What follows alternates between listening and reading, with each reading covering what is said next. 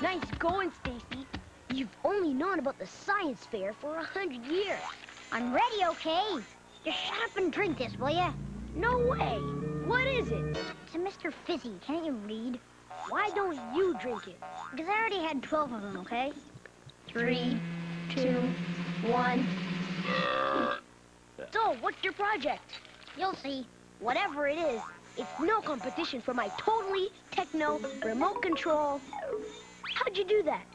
It's a scientific demonstration of sound waves in a non-vacuum air mass. Oh, that again.